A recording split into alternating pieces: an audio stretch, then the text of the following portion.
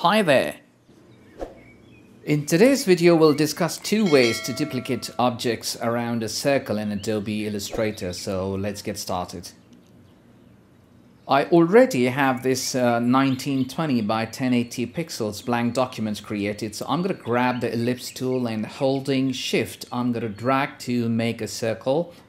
Since mine has a black fill, I'm going to hit the shortcut forward slash key to remove the fill. Now I'm going to drag a guide from the ruler on the left and uh, drop it right at the center of the circle vertically.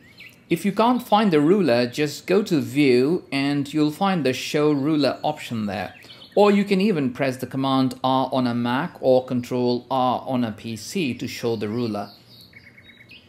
Now drag another guide from the ruler above and drop it at the center of the circle horizontally. Next, make a circle using the ellipse tool and fill it with the color of your choice. I'm going to fill it with blue and then vertically align it to the bigger circle I have here. Now select the small circle and click on the rotate tool. Alternatively, you can press the letter R to activate the rotate tool. The moment you do that, you'll find a small light blue pin appearing on the center of the small circle. Actually, let me zoom in to show you how the pin looks. So that's the pin sitting at the center of the circle. Now go to the center point of the bigger circle where both the guides are crossing and click once and you shall find that the pin has moved to this point this is basically a reference point, more like a tether of the smaller circle. And from the pop-up menu, change the angle if you want to, preferably a multiple of uh, 360 degrees, as a circle has 360 degrees.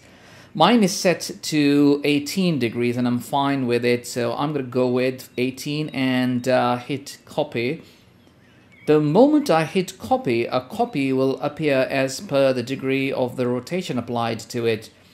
Now, all I need to do is to duplicate it. So keep hitting Command D on a Mac or Control D on a PC to duplicate it.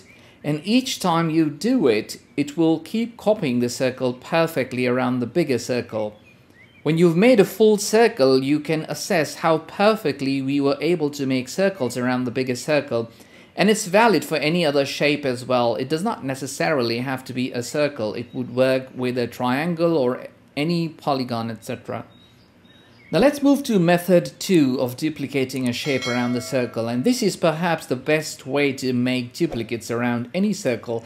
So let's hit Command Z on a Mac or Control Z on a PC to remove these smaller guys. Alright, so let's pick the ellipse tool and drag to make a circle. I want to change the color to something lighter, so let's pick pink as the fill color for a change. Now grab the ellipse tool once again and uh, make a small circle right below the bigger one we've just made and change its color to black. Next, align it vertically to the pink circle in a way that it touches the bottom of the pink circle as illustrated. Now select them both and group them by hitting Command G on a Mac or Control G on a PC. Next go to Effect, Distort and Transform and select Transform. From the Transform panel, ensure the Preview button is checked and this small grid that you see here, click on the Center button at the bottom to select it. What it does is that it will keep that portion fixed while rotating and that's exactly what we want. Next in the copies option type in 18 because we want 18 copies. You can put in any number of your choice here. You don't have to stick to 18. Now the best part is that we don't really have to do any sort of calculation to enable Illustrator to fit these 18 copies uniformly all we have to do is in the angle option type in 360 for the whole circle and then divide it by which is uh, denoted by a forward slash and then type in 18 and hit tab and you shall find how perfectly the copies are made. Don't worry, at this point it looks more like a big pink circle with wavy circumference, but you will know soon enough what we're doing. Grab this pink circle and drag it right to the center of the bigger circle. Ensure that your smart guides are on. You can check it under view option on top or you can hit the shortcut command U on a Mac or control U on a PC to activate it or deactivate it. So it's a toggle basically. Now double click on the original circle we made to enter into the isolation mode.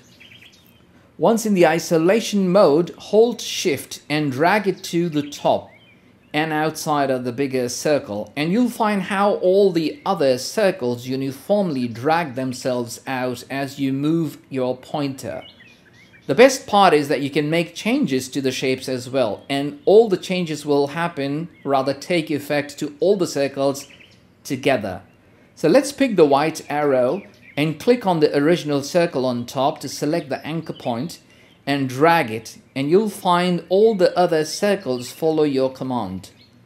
Click on that anchor point and using the sharp corner button here, I can make the corner of all the circles sharp. Using the ellipse tool, I can even make another smaller circle right below my original and it gets copied to the rest automatically. I can even change the color by selecting the circle and changing the color from the color palette and the rest shall obey my command. I think it's a better way to duplicate objects around the circle and not just that, there is so much you can do using this feature so dive deep into your creative side and make wonderful designs using this tool. One last thing to talk about is to delete the small black circle at the center so come out of the isolation mode and select your design and uh, go to object and expand appearance. And then click on ungroup option on the right. You might have to ungroup it more than once maybe twice. Now select the circles at the center and hit delete and they shall be gone.